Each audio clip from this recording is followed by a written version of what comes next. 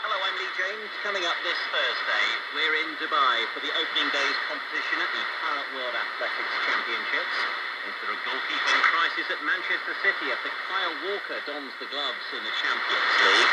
And Caitlyn Jenner, probably the most recognisable transgender woman in the world, former Olympic gold medalist, gives us her views on transgender athletes competing in the 2020 Olympics people that are dealing with transitions, I think they deserve an opportunity to play sport.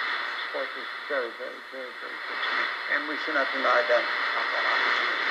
But first, to the athletics fallout after the Diamond League meetings cut four disciplines from their core list of events. Coburn, the Olympic bronze medalist for the United States, has kicked for home. An American winning the steeplechase at the World Championships.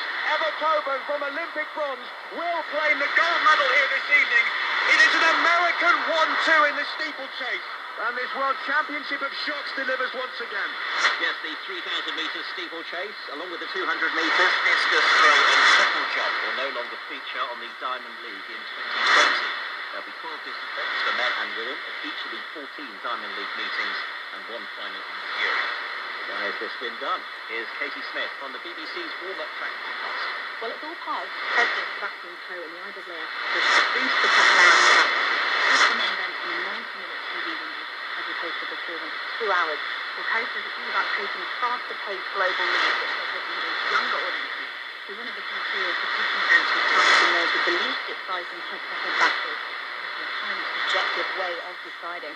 The IAAF insists broadcasters and fans around the world were consulted on the changes, but across social media, there's been a lot of anger from athletes and fans already. You've got to think it's a surprising move